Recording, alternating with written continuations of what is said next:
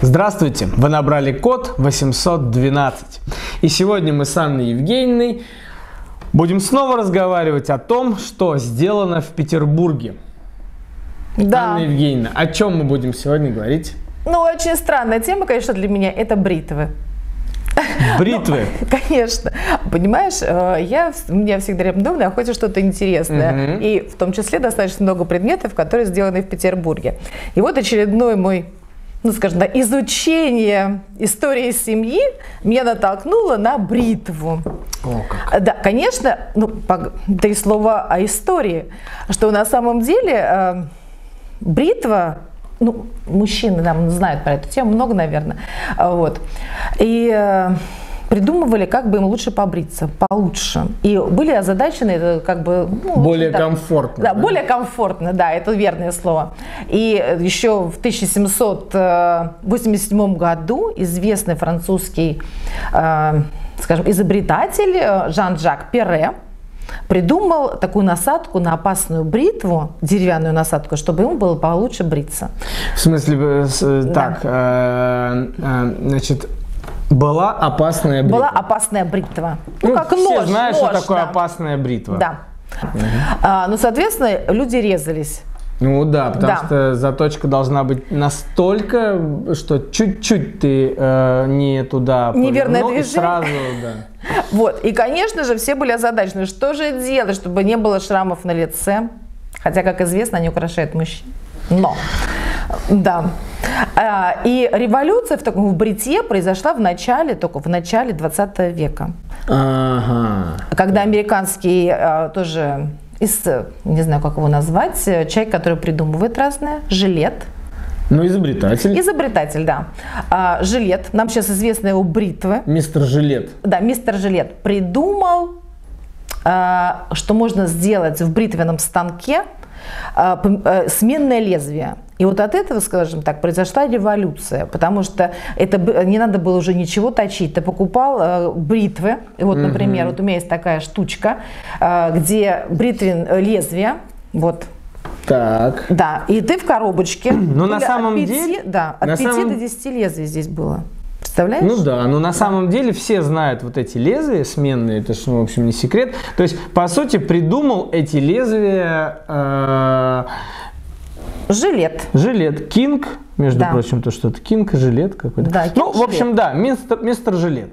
Да. И, соответственно, Ага. вот с этого момента произошла революция вот в этом форменное в бритье мужском. Да. А, а вот был еще, значит, промежуточный этап, да, про который ты хотела ну, рассказать? конечно, промежуточное. Вот кто всё. придумал-то насадку какую-то на опасную бритву? А, Мы э, ушли да, от Жан-Жак Перре, французский изобретатель, да. И он такой придумал ж- деревянную насадку на это лезвие, чтобы, я так понимаю, что был виден маленький кончик э, металлической пластины, который именно бреет. Ну, я так понимаю, э, это если ты это надеваешь, что по сути это про, значит, э, предыдущий этап, это да, так называется, вот той самой безопасной бритвы, потому что эта насадка, она просто не дает сильно углубиться лезвию, то есть если ты порезался, Да. то не глубоко хотя бы. Да, да, Вот. хотя бы не глубоко, быстро зашива- заживает, и ты, в общем, красавчик, скажем так. Вот. Но жилет изменил систему Жилет бритья, просто конечно. революционер жилет, я бы так его назвал. Да, и он, ну, да, совершил революцию, сделал комфортную жизнь. Но у нас здесь с вами представ, и, конечно, э, вот эти э, лезвия, вообще сами станки, они были нескольких типов. И один из них назывался а, станок бабочка. М, Да. Понимаешь, это странно. Вообще, мне знаешь, удивительно, что вот в мужской культуре, оказывается, много таких названий, которые мы относим сейчас все-таки к женской культуре. Там, например, бабочки.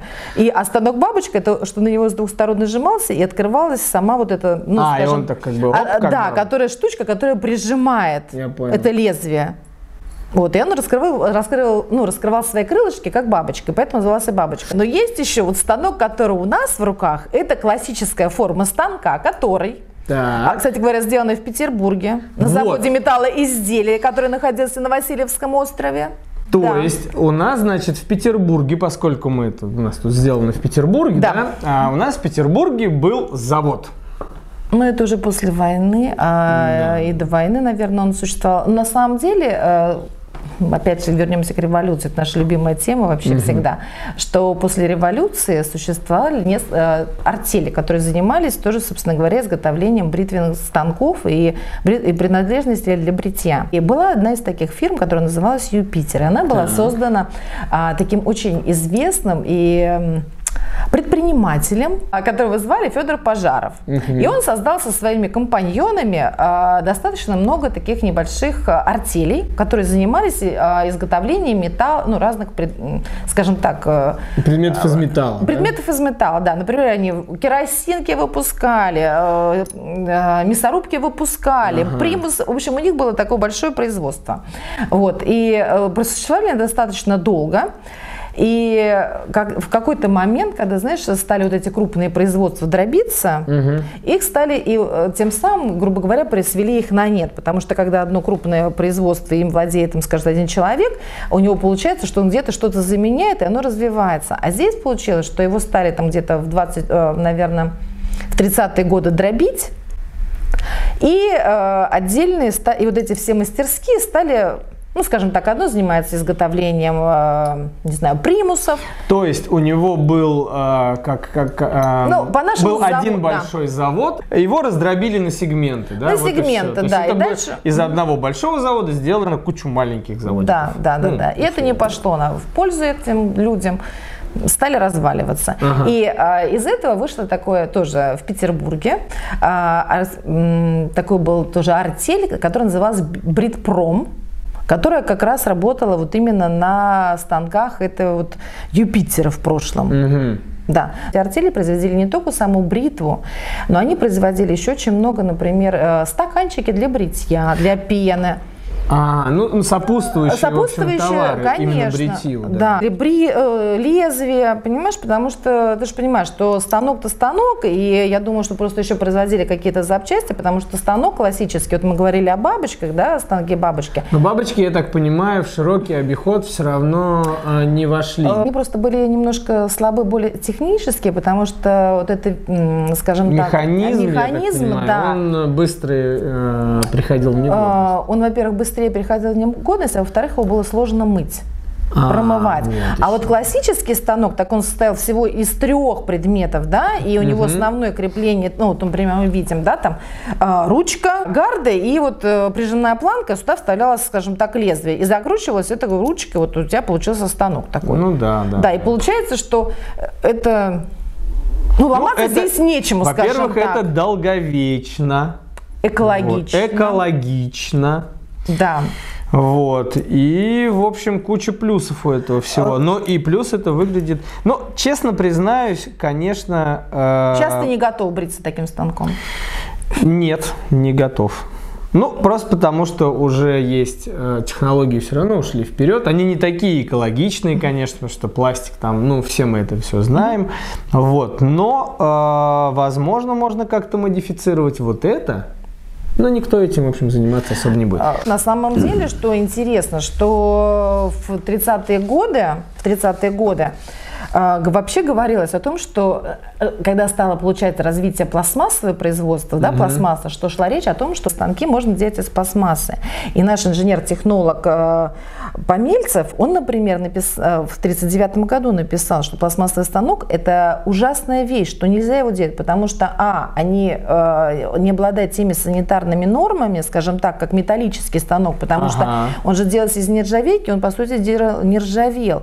А пластмассы, во-первых, это, ну, опять же, экология, грязь, и они недолговечные. И вот эти все крепления, они стираются. И поэтому, грубо говоря, ну, это стало на самом деле после войны уже, когда стали выпускать ну, пластиковые станки, они на самом деле, понимаешь, развивают культуру потребления. Вот то, что мы сейчас говорим, вот, культура потребления. Но это не то, что с сегодняшнего дня проблема. Она все-таки э, зародилась еще, я так понимаю, после войны. Когда ну, стали... она зародилась пришествием пластмассы и вообще какого-либо пластика. Да. Ну, угу. мы, я думаю, еще поговорим на эту тему. Там, Конечно. Как появилась появилось э, пластмассовое производство там и так далее. Но в принципе, конечно, если что уж тут все видно, это вот тут медный явно, ну, медь наполовину. Да. Ну вот, и что касается экологии, практичности, в общем, да. Этот станок, он прекрасен, да, но к нему А, во-первых, нет сейчас практически качественных вот этих вот лезвий, бритв. Слушай, ну они тогда тоже а, были, сменных. так скажем... Так, и тогда они уже были не очень качественными, да. да? И то есть ты ее не заточишь. То есть не, были даже машинки специальные для да. точения вот этих вот бритв. Да, Но да, это да. уже такое все. Вот, поэтому этой бритвой ты все равно не побреешься так чисто, как опасной. Согласна. Вот в чем а, принципиальная разница между опасной бритвой и вот такой. Слушай, ну видишь, на самом деле ты взял в руки бритву, и в Петербурге опять-таки вот, производились да, да. бритвы в Петербурге. Я помню прекрасно Неву, а, помню посмотри, Ленинград. Ты, слушай, и на самом деле обрати внимание, что у них везде символ э, Адмиралтейского, корабль с Адмиралтейства. Да. А была еще, знаешь, какая бритва крутая? У меня, к сожалению, нет упаковки. Мы можем даже даже да. вот показать вот целую большущую упаковку. Да, этих э, бритв. Бритв. А была же еще, знаешь, бритва Балтика. А, и у нее было красовался крейсер Аврора на, ну, вот на этой вот обложке. А, я так понимаю, это битва за бренд какая-то. Ну, по всей вероятности, да. Но подожди, но все ну, равно... Скажите, э, скажите, Анна Евгеньевна. Да. А, вот, в частности, что меня интересует. Бритва Нева, да, то есть где производились вот у нас в Петербурге вот эти конкретные бритвы? Да вообще без проблем. ПМО «Спутник». Отлично. Ленинград, улица Крупская, дом 55. Нержавеющая сталь, 100 штук. 10 рублей, кстати, это стоило штучка. 10 вот эта коробочка. Рублей? Да. 75 год. В 75 году 10 да, рублей, да. ну это прилично, ну так, нормально. Ну 100 штук, это, грубо говоря, ну 100... 100 да. штук, это тебе чуть ну, меньше, 4, чем да. на полгода может да. даже хватить. Ну. Понимаешь, поэтому... Но я думаю, что мало кто мог себе позволить такую коробочку, я думаю, что покупали все вот такие коробочки, маленькие, ну, да, по всей вероятности. Да. Так, вот. подожди, не могу... А одна маленькая стоила 10, 1 рубль. Вот 10 лезвий 1 рубль стоило. Вот. А, вот 10 да. лезвий 1 да, рубль. Да, То есть да, да. А, по 10 копеек штучка. Да. Поэтому, угу. в общем, вполне можно было себе позволить. Но, кстати говоря, про лезвия, они же пользовались популярностью не только у мужчин, которые брились, но ими же очень делали многие вещей. Например, точили карандаши. О, да. А, и, например, у меня, э, ну, скажем так, у меня много очень друзей художников, и мой дедушка художник, и он, например, э, до последнего не признавал, что карандаш точить точилкой. Только лезвием или скальпелем. Возвращаемся к сделать, сделано в Петербурге. Да. Вот где у нас в Петербурге Петербурге делали а, вот такие, например, прекрасные... На Васильевском острове. Да, вот на Васильевском острове да, производили да, вот да, такие да, шикарные... Да. Был завод металлоизделий на Васильевском острове, по-моему, где-то на шестой или седьмой линии, не могу точно сказать. И вот там производились э, ну, там разные... Неподалеку от табачной фабрики. По всей вероятности, да. Вот, да, производить. Вот. Но главное, что это же целая Слушай, история. Это вот чехол, в котором это все, я так понимаю, разбирается. Да, но на Каждую самом деле, штучку, э, да, знаешь, отдельно. очень классно, что они, ну это, наверное, все-таки какая-то более простая штучка для повседневного обихода. А, даже но вот были так. еще торжественные, скажем так, а, подарочные варианты, которые были в разных красивых коробочках. И, внут... и во-первых, коробки вот это из картона, а были такие пластмассовые коробки, были тоже э, картон картонные коробки, но из более прочного картона, и внутри здесь был, например, бархат или даже бывает иногда вельвет. На самом деле, и были еще такие мини-бритвы, когда вот эта еще ручка э, составлялась из нескольких частей. И, короче говоря, вот в половину, вот, ну, наверное, в половину Ну, то есть это совсем, то есть это вот... Э, да, да, как да, это да. называется? Рай командировочного. Конечно, рай командировочного. Но на самом деле, знаешь, э, вообще к бритью... Вообще это очень интересная тема, потому что к этому бритью же еще прилагался тройной деколон, Oh. Понимаешь, что на самом деле туда входил лимон, бергамот и неролли. Понимаешь ли? Не что, извините? Неролли. Это что такое? А это такое тоже цитрусовое растение с тонким ароматом. Но я боюсь, что когда мы сейчас открываем тройной деколон, мы не можем отличить лимон от неролли и бергамота, но для нас это что-то ядреное, потому что мы уже привыкли к более тонким запахам, скажем так. Я думаю, что но... мы когда-нибудь запишем сделано в Петербурге именно про одеколоны. Слушай, ну на самом деле, представляешь, даже вот эти вот помазки, ну, помазок даже, это же тоже был сделан, во-первых, а, они были бы сделаны из барсучьего волоса. Вот. Единственное, что у меня вопрос, вот этот барсучий волос, где они его брали?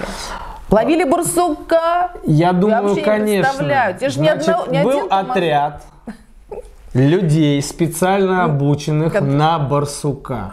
Mm-hmm. Они шли в лес, им давали, значит, на фабрике как задание. задание. Нужно 30 килограмм, 300 килограмм барсучьего волоса. И вот они уходят в леса Псковской, Новгородской, Ленинградской области. Перебили всех барсуков. Нет. Они ловят барсука, стригут его, в специальных отрощенных местах и отпускают. И складывают себе, складывают, складывают. И потом приходят, ну и так далее. С мазком ты меня сразу направил на еще одну такой, скажем так, момент. Знаешь же, был же еще такой мыльный порошок, который назывался Нега. Нега? Нега, я, да. не, я, я не помню. Я ну, не ты не помнишь, потому что это было до войны. Из него взбивали пену. И знаешь, что я тоже прочитала? Что, оказывается, э, круто взбить пену, когда ты переворачиваешь что-то миску для, для мыльной пены, и она не выпадает. И она там, ну, грубо говоря, она А, она должна плотности. оста- вот да, такая должна да, быть вот пена. такая должна быть пена. Поэтому, если кто-то вдруг захотел побриться и взбить себе пену, то исключительно до такого состояния надо взбивать. Ну или можно устроить себе такой, в общем, э, трип, да, взять, Вечерок. значит, да, если вдруг вы нашли дома там дедушкины или папины, или, я не знаю, там прадедушкины, вот эти все аксессуары, вы можете просто попробовать. Ну, Почему нет? да, вот это все. Вот. Любое мыло абсолютно подойдет. Конечно. Мылом пенишь, пенишь, пенишь, все, водички туда. Потом все это собрал. Но вот это, конечно, жемчужина сегодняшнего нашего выпуска, я считаю так. Ну, а это Несмотря не на то, что это не сделано в, в Ленинграде или там Петербурге, но вот я, например, смотрю и напомню.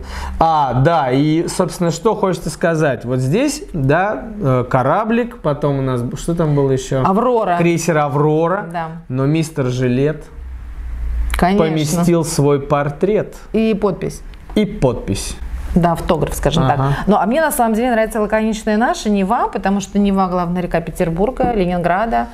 И мне нравится, что это голубой цвет, ну, синий такой, Нет, как вообще, вода. несмотря на то, что это все сделано как бы видно, но все вот эти вот, э, ведь кораблик это же не далеко не советский атрибут. Конечно. Впрочем, как и река Нева, Да, ну и так да, да, далее, да. и так далее. То есть все это э, имеет, я бы так сказал, как метафизические, так и обыкновенные корни. Конечно. Вот. Петербургские. Да, поэтому я думаю, что можно а, поискать дома действительно все предметы для бритья. Да, и пишите нам в комментариях. Пишите нам в комментариях, да, какие у вас. Вот у нас, например, есть вот такая. Вдруг, или можете там фоточку приложить, э, ка- какой у вас есть станок. Или вдруг, например, вы собираете коллекцию э, бритвенных вот этих безопасных станков. Ну, это еще будет инте- Конечно, еще интереснее интереснее. будет. Так что э, смотрите, сделано в Петербурге. Э, Пишите нам комментарии. Там же, в коммента... э, Там же в описании под этим роликом вы можете увидеть ссылки на наши инстаграм-каналы, где вы можете записаться на индивидуальные экскурсии по Петербургу. Вот. Ну и может быть когда-нибудь мы сделаем а, что-то типа не то чтобы лекции, а чего-то такого. А, Мы возьмем, например, некоторые очень а, популярные да, темы, сделанные Да. в Петербурге, и сделаем какое-то такое живое общение. А может, что-нибудь в зуме придумаем. Вот. Конечно, в зуме круто будет, да. Да. Так что, в общем, а, если бы у меня был бритвенный салон, я бы вам обязательно сказал, брейтесь с удовольствием. Но Ленинградом, например. Не знаю, с каким удовольствием, но все возможно. Да, счастливо! Пока!